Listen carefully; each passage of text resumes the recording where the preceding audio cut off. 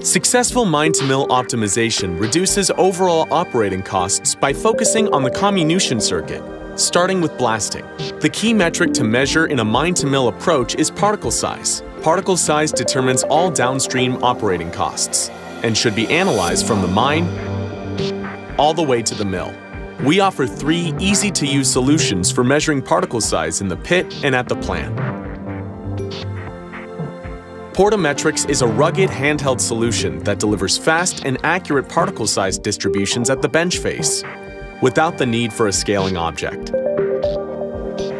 Our shovel-based solution continually analyzes particle size in the shovel bucket. Mine engineers can tie this particle size data directly to individual blasts to optimize their blast parameters. Our solution for the plant continually analyzes particle size on any conveyor belt. The solution can also detect when the conveyor belt is empty, alerting mine staff to upstream blockages.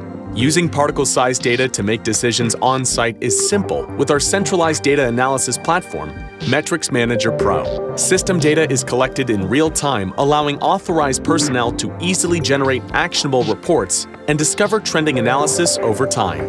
Motion Metrics, extending machine senses.